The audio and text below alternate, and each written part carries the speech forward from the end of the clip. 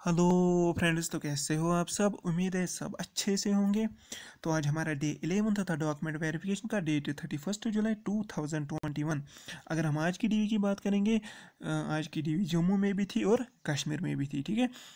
तो आज का जो वीडियो है आपको सरप्राइज़ करने वाला है और उसका रीज़न जो है वो मैं आपको इस वीडियो के एंड पे बताऊँगा। So please subscribe our channel and don't forget to press the bell icon देखो, ऐसी बात नहीं है कि ग्रेजुएट्स नहीं गए होंगे डीवी के लिए बट आज भी ग्रेजुएट्स डीवी के लिए गए थे और बहुत ही ज़्यादा गए थे। आप यहाँ पर कमेंट भी देख सकते हो कल की वीडियो पर किसी ने कमेंट किया था, सब जूट है प्लीज़ गो फॉर डीवी ऐसे ही किसी और ने कमेंट किया था आई थिंक ग्रेजुएट्स को एलिजिबल करेंगे एज पर रिपोर्ट्स इसका मतलब है ग्रेजुएट्स को अभी भी लग रहा है कि उनको एलिजिबल करेंगे, ठीक है?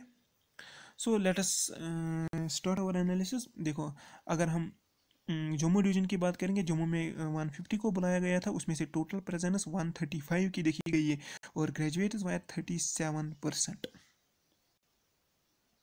अगर हम कश्मीर की बात करेंगे, कश्मीर में टोटल वेरिफिकेशन के लिए 200 को बुलाया गया था, उसमें से टोटल अटेंडेंस 178 की देखी गई अगर हम ग्रेजुएट्स की बात करेंगे ग्रेजुएट्स 52 परसेंट गए थे, यानी बहुत ही ज़्यादा ग्रेजुएट्स गए थे एज़ कंपेयर टू जो प्रीवियस डे था, ठीक है? अगर हम ओवरऑल रिज़ल्ट की बात करेंगे टोटल 350 को बुलाया गया था, उसमें से टोटल प्रेजेंस 313 की देखी गई है। अगर हम ओवरऑल अटेंडेंस देखें तो वो 89 परसेंट ऑलमोस्ट रह गई है और ग्रेजुएट्स की परसेंटेज 45 रही है, ठीक है? तो यहाँ पे आप देख सकते हैं ओपन मेरिट के कितने R B S C E W S and E S M देखो, अब मैं बताऊँगा आज ग्रेजुएट्स क्यों ज़्यादा गए थे, क्योंकि रीज़न ये है क्योंकि कल, अभी तक वो जो डिसीज़न कैट के तरफ़ से कुछ डिसीज़न आने वाला था, कोर्ट की तरफ़ से लास्ट हायरिंग थी कल थर्टी जुलाई बट उसका कोई डिसीज़न नहीं आया है अभी तक, ठीक है?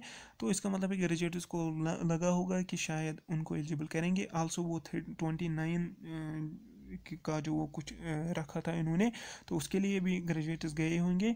सो यहाँ पे आप पढ़ सकते हो। Reason behind why graduate percentage was more thirty July final hearing was not done and no any update from J K high court तो इसलिए ग्रेजुएट्स आज बहुत ही ज़्यादा गए थे, ठीक है? सो आप मुझे कमेंट में बताए बताइए कि ग्रेजुएट्स ने ठीक किया या गलत किया, ठीक है? So thanks for watching please subscribe our channel